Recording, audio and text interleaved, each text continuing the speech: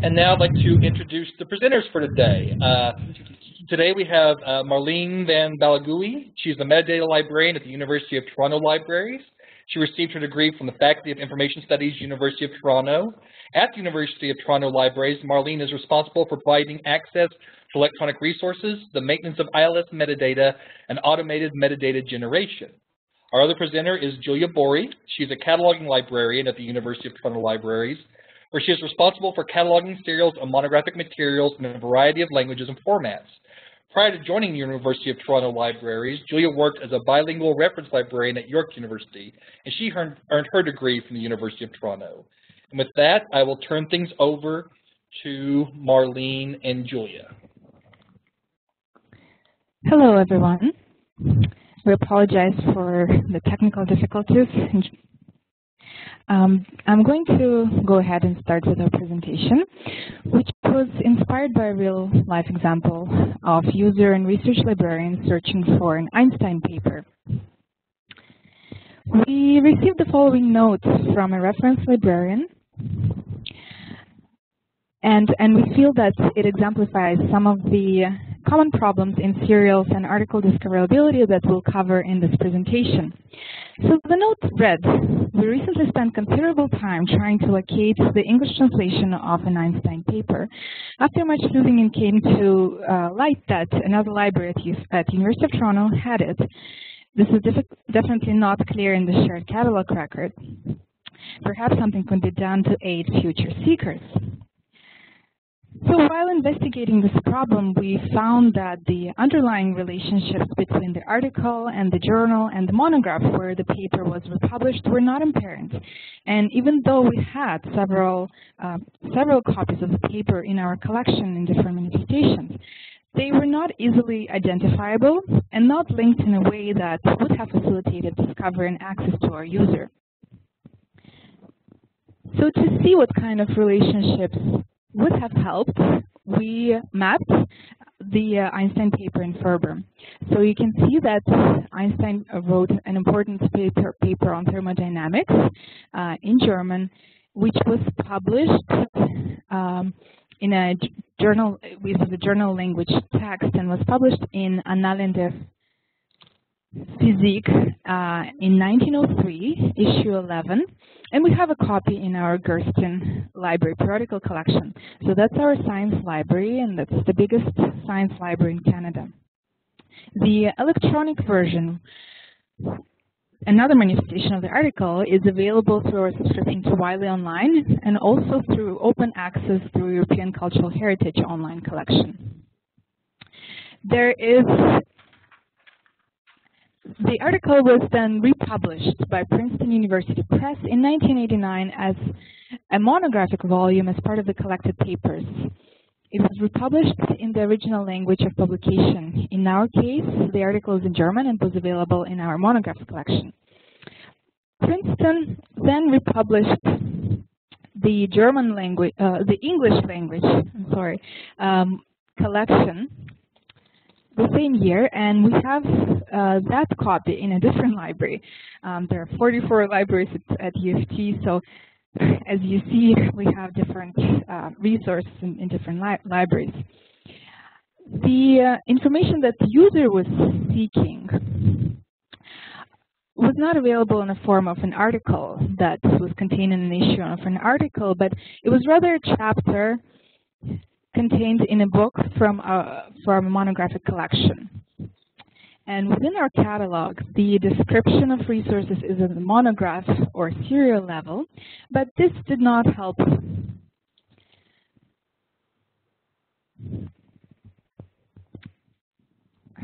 Sorry, I'm trying to adjust the audio again.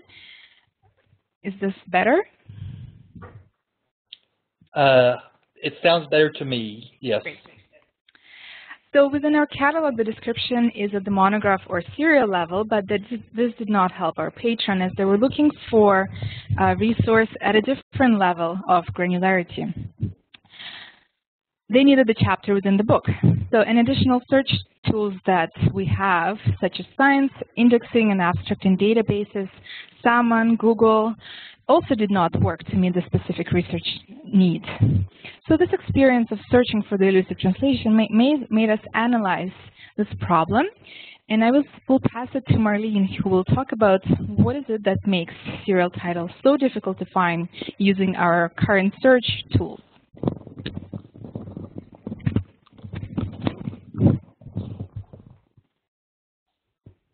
Hello, is this audio okay? Yes. Yes, okay. Okay. So in our analysis of this problem, it became clear that a common source of confusion among patrons is that there are two levels of metadata to navigate. There's the metadata related to the serial publication, which is contained in the library catalog, and then there's the article level metadata, which is contained in indexing and abstracting databases. As our discovery systems have evolved, searching for serials has been improved somewhat. We now have new web-scale discovery systems, such as Summon, that serve as a single point of access for all library resources. But as Julia has illustrated with the Einstein example, these systems don't serve every research need because the data lying underneath the system does not adequately describe the relationships between the resources.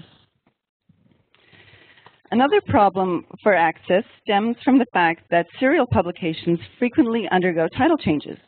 And with each title change, a new bibliographic record is created. Now for users, following the history of a periodical title through time in our current systems is like putting together a puzzle. And all our users don't have the time or the patience for puzzles, they just want the resource. The discovery process can also be complicated by the fact that serials are often issued in multiple versions. It's now the norm for serials to be issued in print and electronic formats, and for some serials, microform is still being produced for preservation and research purposes. This problem of multiple versions has led to the proliferation of nearly identical records being created within our systems. And having too many records for the same title can lead to the possibility that the user may miss the one record that would best suit their research need.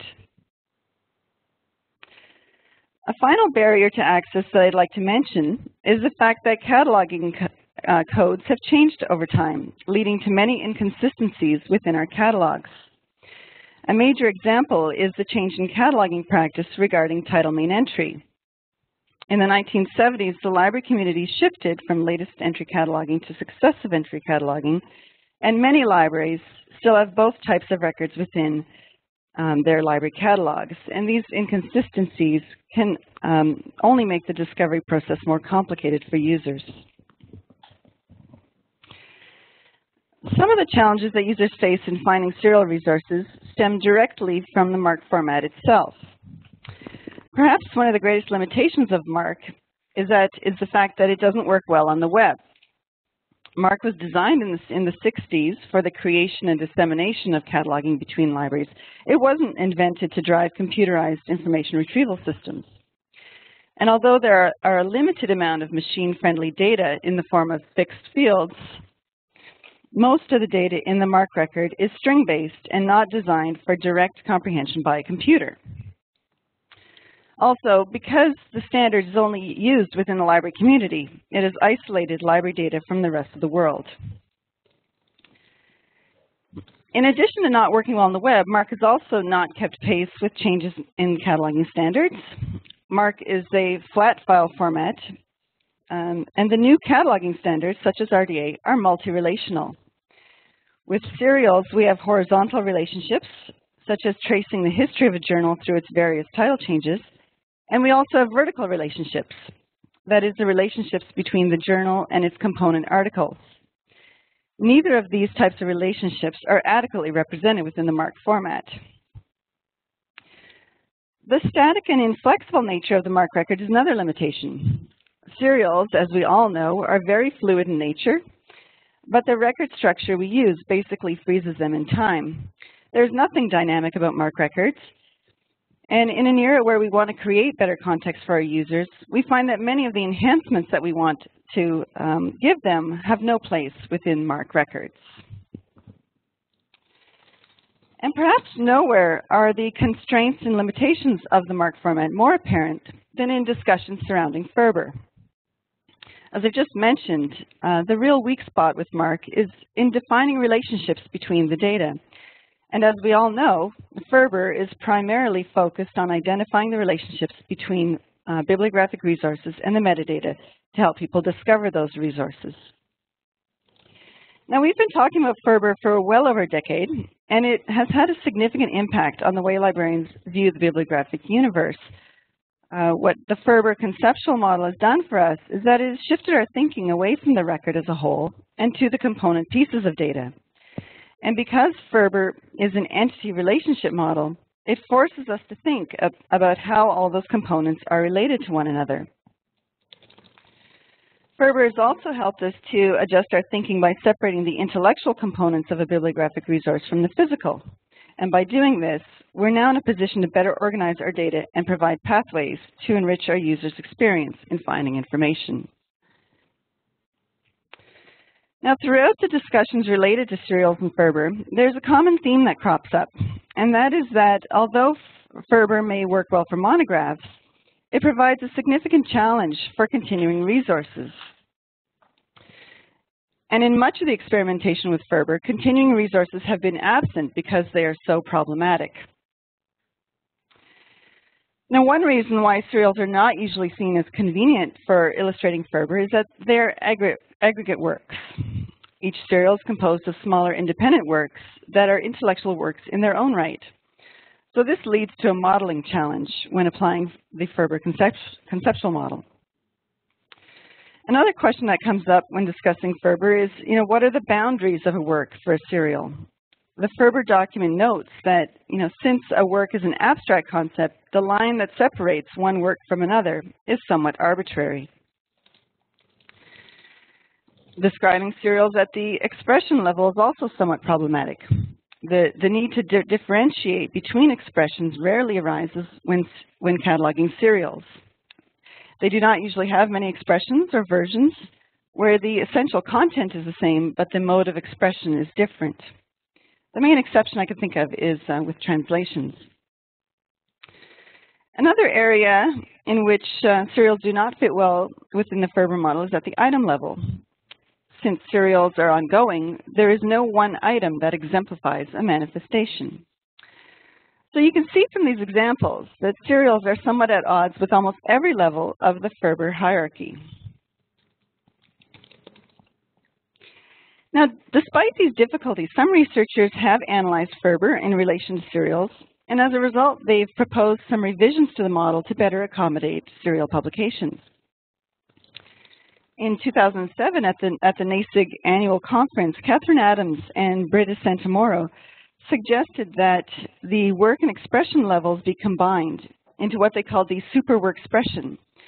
And this would be an umbrella record that collects the bibliographic information that relates to the serial's content, and it would also represent such things as translations and different editions. This super record would be like an authority record for the serial publication, and would serve all of, its manifestations in various formats. To handle the multiple versions issue, the manifestation level would be used to document all the data specific to a particular format. So in this case, there would be a, a manifestation record for the print, the online, and microfilm records.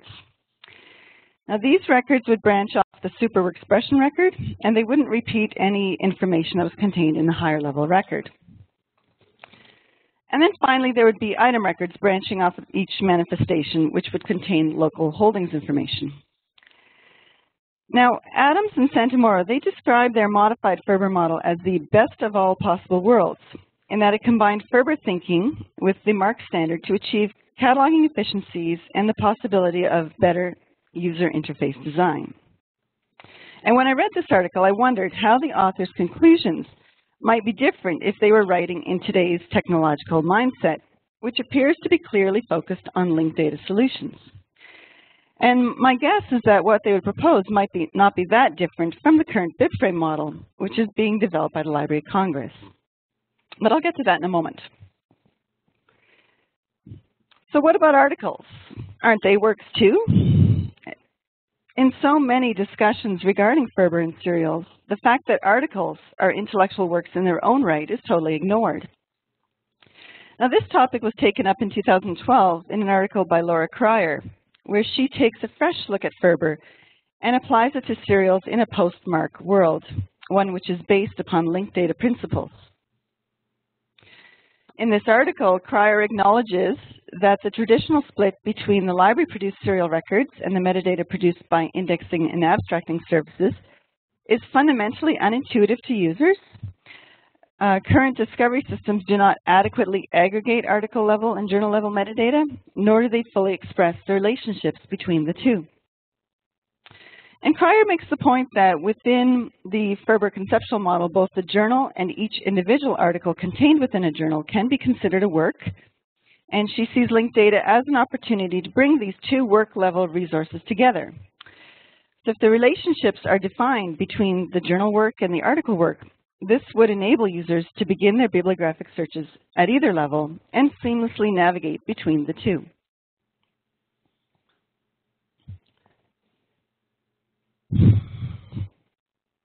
Now, using FRBR and linked data technology as a way to bridge the journal-article divide makes a lot of sense for improving the user experience when they are searching for periodical literature. So I'm just going to stop. I'm just wondering, can everybody hear me now? Um, most of the responses I've been getting online have said, yes, they're hearing things much better, but a uh, be sure not to get too close to the microphone. I think it was more uh, the your previous uh, speaker who was had lots of popping and breathing noises, but you're coming through fine right now. Okay, I'm just going to try to continue here. Okay. Okay. Now, for anybody who is accustomed to working with serials, um, you know that you're dealing with materials that are fluid and ever-changing. Now, these types of publications have many interrelationships, and they're increasingly being made available in multiple formats. So in other words, serials are like the shapeshifters of the library world. Now, FRBR holds a lot of promise for better representation of serials to users, but as of yet, it's not been implemented in systems to a great extent, and this is largely because that within a flat record format like MARC, the full range of relationships uh, between resources cannot be adequately represented. But within a linked data environment, which like FRBR is entity relationship based, there is hope for realizing the full potential of FRBR. Now, we've been hearing a lot about linked data within the library community over the past few years, and in these discussions, you probably also uh, heard of the acronym RDF. Now RDF, it stands for Resource Description Framework, and it is the primary data model that's used to publish linked data. Now RDF is not a particular data format like MARC. Instead, it's more of a conceptual framework for representing information about resources on the web. And the idea behind RDF is that you can describe a thing by making statements about its properties. Now each RDF statement has three components, a, a subject, a predicate, and an object. And this simple structure allows anyone to make simple assertions about anything. So let's say we had a statement um, that we wanted to translate into RDF. So the Journal of Ethology is about animal behavior. So the Journal of Ethology would be the, the subject of the triple. The journal is what the statement is about. In between the subject and the object, we have the predicate is about, and this indicates the kind of relationship that exists between the subject and the object. And then finally, we have the object, which is the subject heading animal behavior. And what makes this simple structure especially powerful for information seekers is that the nature of the relationship between the subject and the object is defined. Now, in order for this information to be truly part of the web, it needs to be in a format that can be understood by software applications. And to do this, um, we would substitute a URI for each part of the RDF triple. So by using URIs as names for things, this allows computers to automatically assign values to each part of the statement. Now, as mentioned in the previous example, these statements um, for these statements to connect to other RDF data on the web, we need to use URIs, uh, preferably those that are based on standard identifiers. Now, what standard identifiers do in a linked data environment is um, essentially act as the glue to connect our data to the greater web of data. So now I'd like to just very briefly go over some of the different types of identifiers that could support serials in a linked data environment. So first we have the um, Library of Congress authorities and vocabularies. And although this is not specific to serials, the LC Linked Data Service provides access to the commonly found standards and vocabularies produced by the Library of Congress.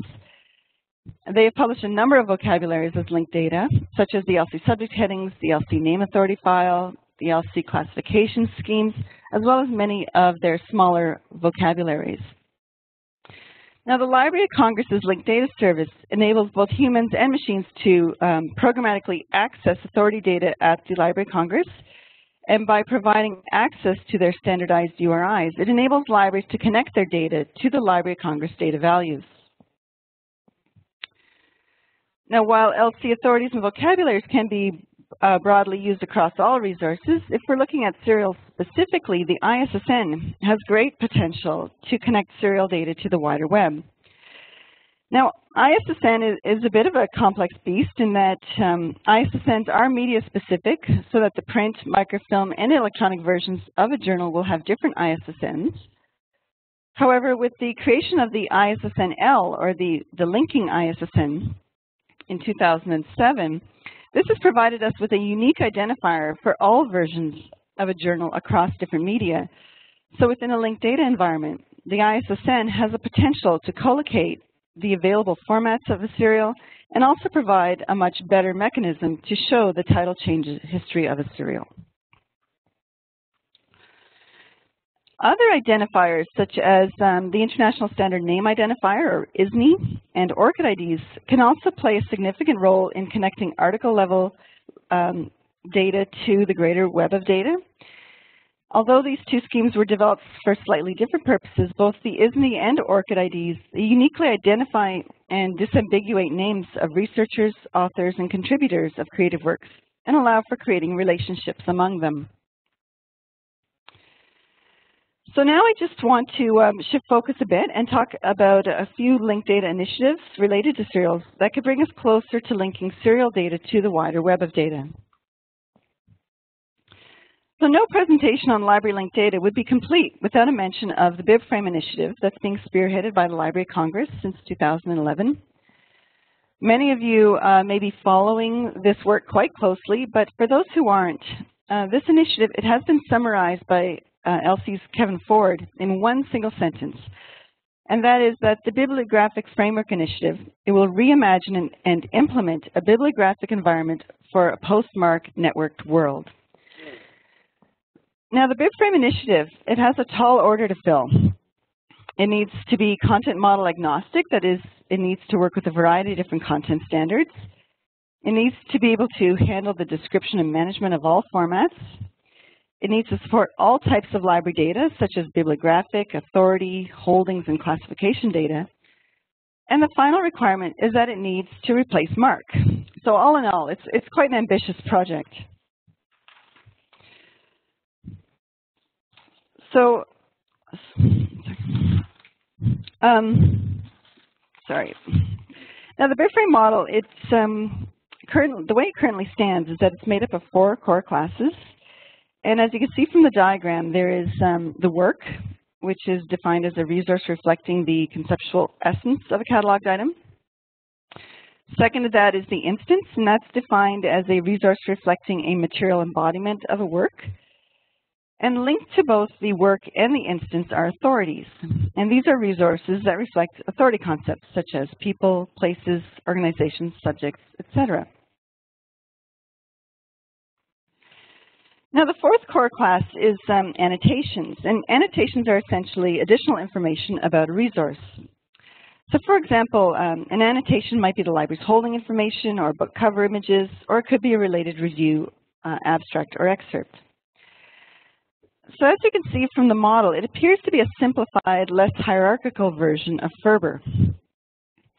Rather than having FRBR's four levels, uh, work, expression, manifestation, and item, it has condensed it into two, works and instances.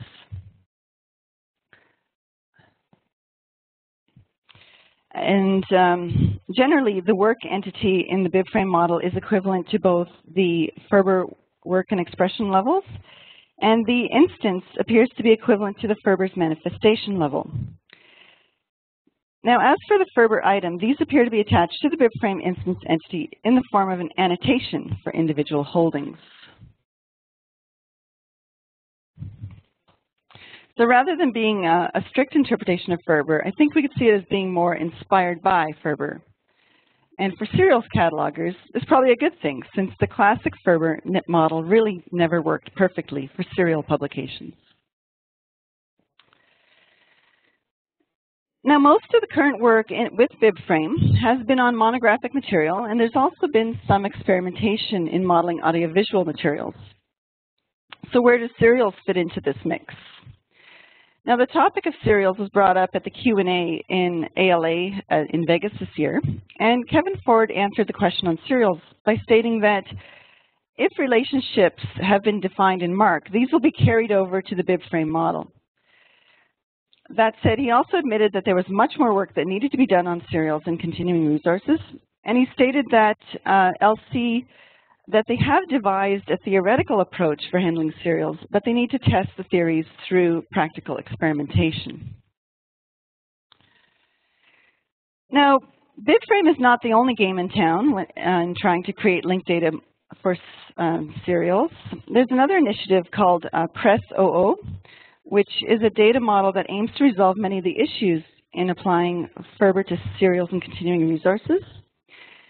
Now, PRESSoo is an extension of an earlier data model called FRBRoo, and it was um, developed by the ISSN International Center, the ISSN Review Group, as well as the Bibliothèque Nationale de France.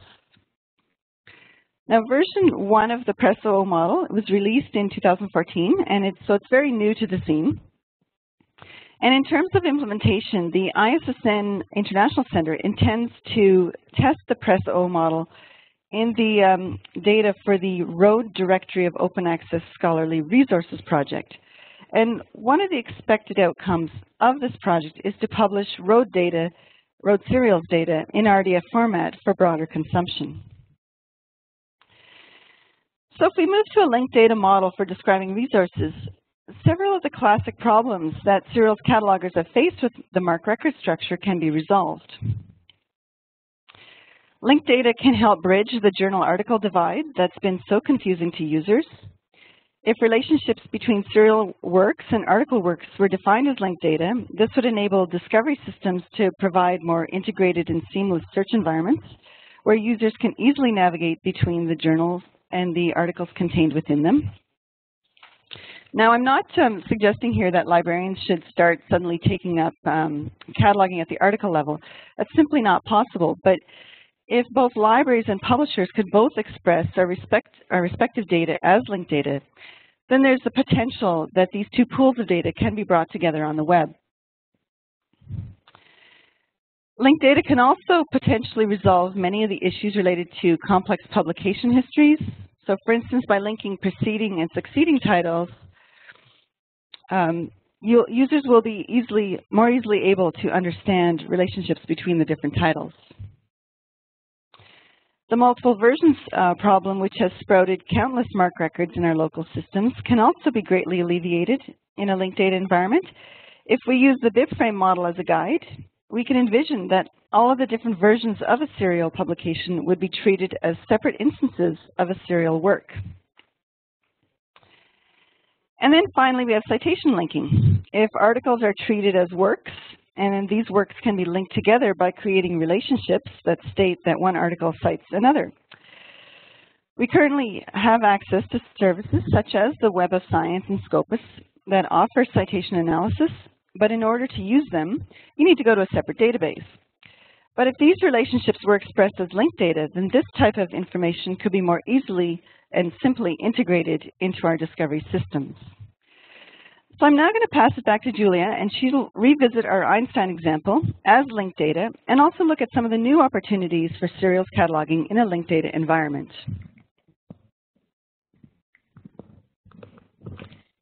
So going back to our Einstein example, and following his advice of not striving to be a success, but rather to be of value, how can we help the user find, the, find his paper? let's look at what extended search and discovery of the various versions of Einstein's paper can look like for a user in a linked data environment. If the original paper is defined as a journal article, that it has German as its language of publication, 1903 as the year of publication, and it's linked to the citation, you, and, and also linked to the authority for Einstein and sub, uh, subject authority for thermodynamics, then you can extend the relationship and establish the two-way relationship to the English translation. We can also see that the English translation is a chapter in a monographic volume and it has, it has its own citation and in terms of relationships, it's also linked to Princeton University Press.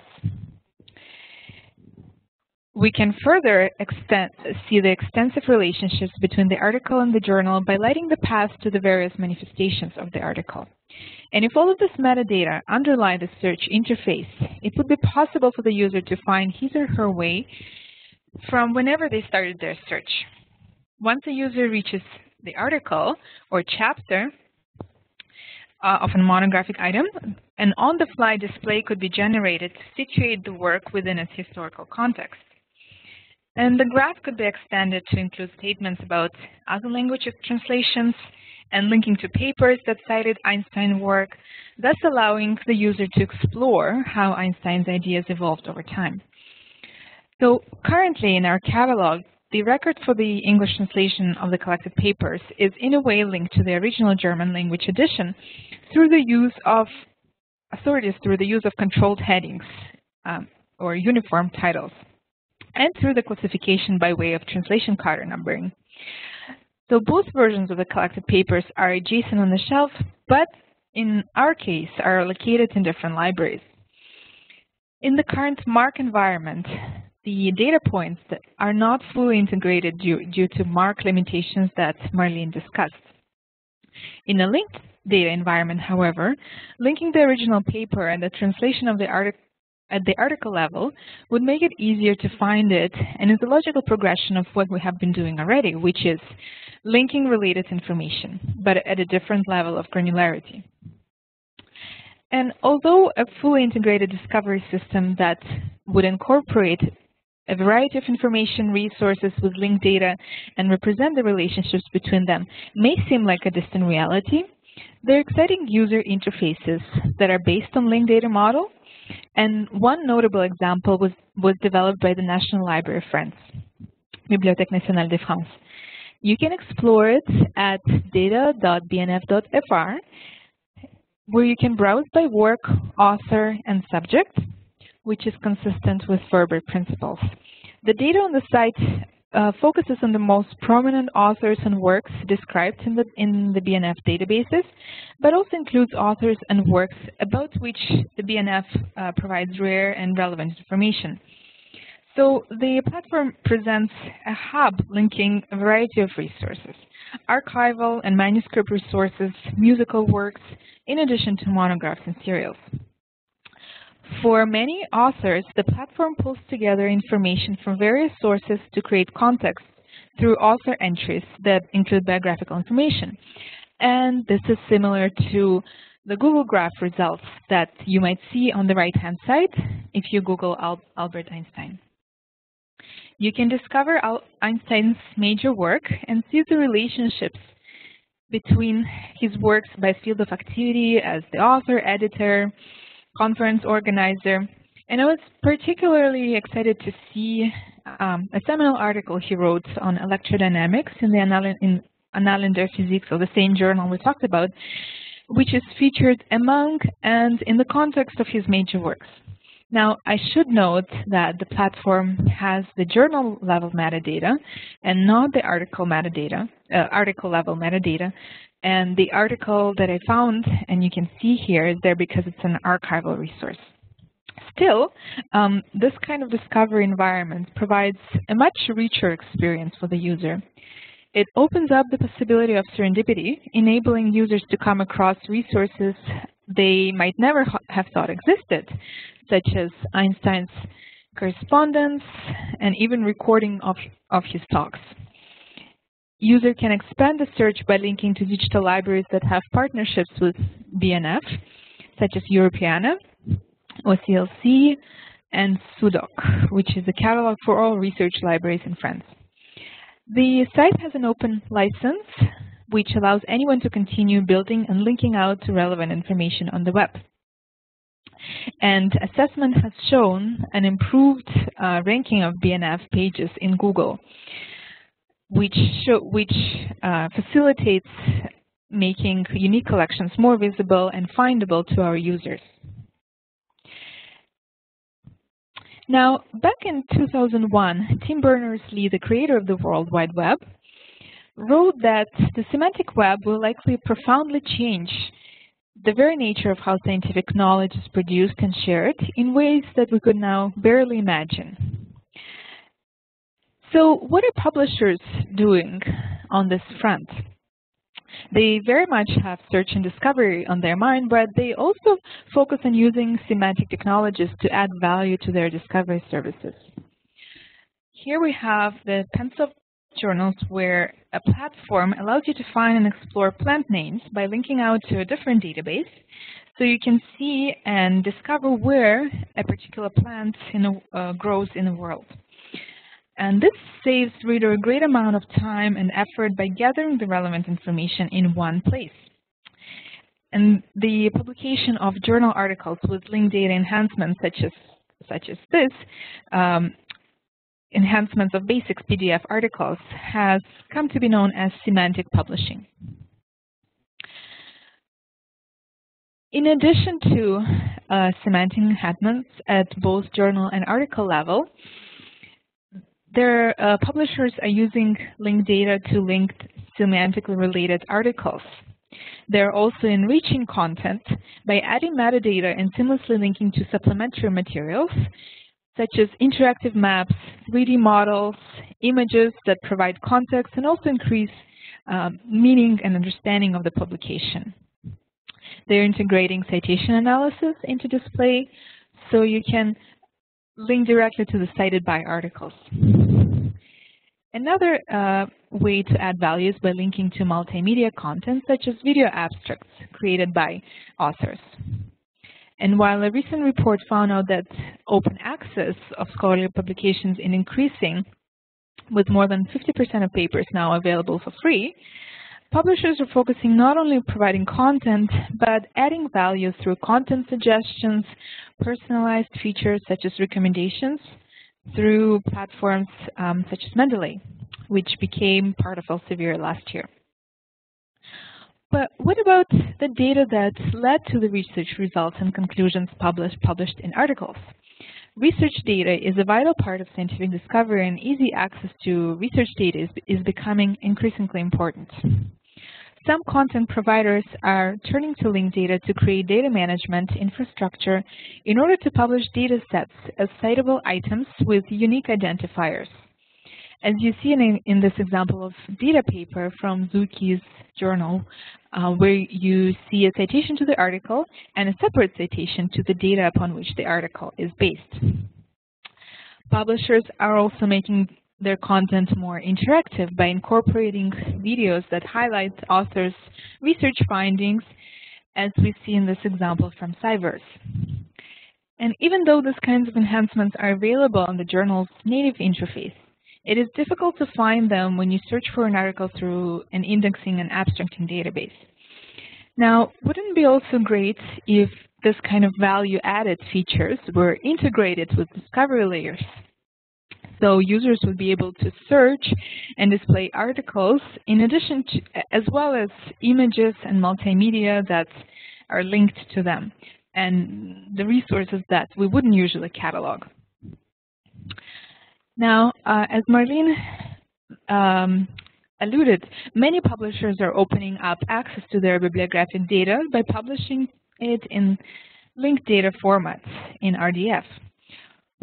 For instance, Nature Publishing Group published the bibliographic records of all their journal articles dating back to 1869 as open link data under Creative Commons license. And as more and more data sets are published on the web in machine-readable formats, Discovery services can take advantage of them and link them automatically with similar data from other sources. So I've shown you a couple of examples of what publishers are doing, but what about libraries? Linked data is also creating new opportunities, but also creating new challenges for libraries. The challenges include copyright issues at data levels, such as data rights and licenses, as many linked data sets are not from, the, from public institutions. But there are also great opportunities opening up. We can now link researchers to their research by creating researcher profiles and creating discipline-based com uh, communities at a local level using tools that have linked data points such as Vivo, and also linking to ORCID and ISNI profiles. Libraries are more and more focusing on compatibility with the whole bibliographic universe, not just the catalog. And linked data offers opportunity to collaborate with content creators, vendors, web developers, and standards organizations to explore the full potential of enriched online content in order to make the discovery truly boundless. Linked data holds promise to improve information services. By collaborating to create interfaces that facilitate discovery of our collections, we can enable social connections, discussion of ideas, and serendipitous discovery within our collection. We can create a completely integrated experience by linking works to concepts, to people and places, and guide users to resources by making the pathway to our resources known. And finally, the creation of authorities has been part of libraries' work over a long part of time, long span of time, and it, it is often cited as one of the key strengths of cataloging and bibliographic control. And as catalogers, we have developed an expertise by collectively building authority records associated with bibliographic resources. Authorities are often noted to be the first step on the road to linked data for libraries. Now, uh, can we capitalize on this expertise while continuing and expanding in uh, authority creation while also adopting more flexible and web-based technologies? So just to illustrate you how this would help, going back to my Einstein example, when I used Summon to find the journal language article, I typed Albert Einstein in the type, title of the paper and got zero results. I was a bit puzzled by this because I knew that we had a subscription to Wiley, but after several tries, it became apparent that the article wasn't coming up because the name was indexed as A. Einstein, and Albert just wasn't matching any text strings. And if, our, if the Library of Congress authority was linked to the article, it wouldn't matter if this user searched for Albert Einstein or Einstein A or used a different script. In their search, the article would still come up. So the recent developments in, in academic journal publisher, publishing with linked data and semantic technologies can add multiple dimensions to scholarly communication on the web in ways we couldn't have imagined just a decade ago. Here are some of the possibilities for journal literature. The peer-reviewed article can be linked not only to, to journal and databases, but also to the research data that is based upon in a, located in disciplinary re repository. You might also be interested in exploring the grant application that it's linked to, as well as the preprint in the institutional repository. If you're interested in what other scholars thought about the work, you can read their comments, making peer review process more open. In addition, you can explore supplementary materials works cited, and multimedia linked to the articles. You can also see the article and the contents of the author's works, and if the research was presented at a conference, view the webcast to learn more. The, the view of what a search for literature, uh, serial literature might look like was inspired by Regina Romano Reynolds' presentation at this year's ALA annual conference. And it was at last ALA Midwinter Conference that Eric Miller of Zepheira, LC's BibFrame development partner, noted that we are moving from cataloging to catalinking. With new standards development and RDA implementation, technological innovation that BibFrame can bring us, and a cooperative disposition between libraries, researchers, and content providers, it is definitely an exciting time to be involved with serials and allows us to think about cataloging in new and creative ways. We can extend the library catalog into the realm of the world of the web through the creation of links. By, by adding greater contextualization to serial resources through links to authorities and value-added content, we are in essence shepherding our users to greater discovery possibilities. So in this presentation, Marlene and I provided an updated presentation on our linked data in, in serials presentation from last year's uh, NASIG conference, and we expanded and included a presentation of recent developments in the field. Marlene discussed some of the problems related to serial cataloging that can potentially be solved using linked data and FRBR principles, while adopting a more holistic view of what constitutes work in serial world.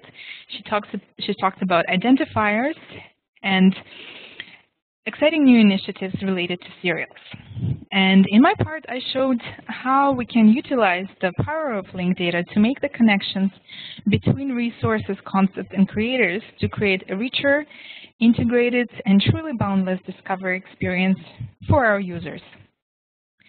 We would value any feedback you may have and would be happy to take your questions and comments. Thank you again. Right, thank you very much, Julia and Marlene. Uh, so far, uh, every question that's been in the Q&A has been about the audio difficulties, um, except for one person wanting to know if you would be willing to have a copy of the slides made available uh, uh yes. to, to people. Certainly, you could do that. All right. And we will coordinate with you on the best way to uh, make that available to people who are registered. Um, if you have any questions for Julia and Marlene over the presentation, please uh, type them in now. We still have a few more minutes. Um, but while we're waiting for that, I'll go ahead and start doing a little bit of our wrap-up. Again, thank you all very much for attending today. Um, after you log out, you'll be directed to a survey, and please fill that out and uh, let us know uh, your thoughts on today's presentation. Oh, here we have a question. Uh, what linked data projects are you engaged in at Toronto? Well, actually, um, can you hear me? I'm on the phone now. Uh, you're very, very uh, Let me just switch over.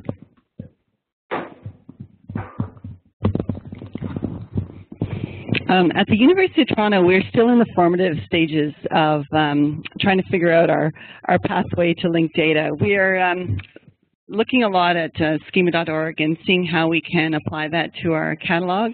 And we're also trying to identify um, projects that would be good candidates for linked data. Okay, uh, we have another question. You mentioned citation analysis in an earlier slide. Where does that info come from?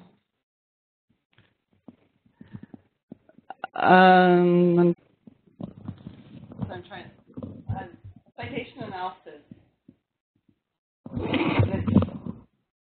we were just mentioning like a hypothetical what could be done if um, articles were connected using linked data so that you could um, so that you could link then from citation to citation. Um, that data didn't come from anywhere specifically. It was just some thoughts that we had on how this data could be connected. Okay. And uh, next question, what can an individual library do with linked data? How to start? Well, that's a great question. I think that um, to start, I think it would be good to just survey what is happening out there before you can actually um, initiate linked data projects, I believe that you really need to do investigation. And I read one thing that I thought was interesting, and these, they're saying that basically if you, the first thing you should do is try to consume linked data and see what you can do with it, and that will lead you to um, sort of figure out your pathway on how you want to ex expose it and what you want to do with it. Okay, and Uh, this will probably be our final question. How well do you see bib frame handling change over time in serial data? Learn, you can learn more about the, the BibFrame vocabularies that are now published on the BibFrame website in terms of how how we can how they how BibFrame can handle change over time. I guess it remains to be seen as uh, it, the uh, BibFrame hasn't been fully fleshed out and implemented. But we hope that it will be able to handle both horizontal uh, relationships and changes in titles over time, as well as vertical relationships between articles and journals. All right. And that seems to be all the questions that we have and all the time that we have. So again, I'd like to thank Julia Marlene for their presentation today. I'd like to thank all of you for registering and attending. We will be sending out a recording of this presentation uh, within a few days. So those of you who did experience some audio issues off and on, you should be able to listen to the full presentation. If there are problems with the recording, please let us know. Uh, and with that, I will bid you all a good day. Thank you. Thank you so much.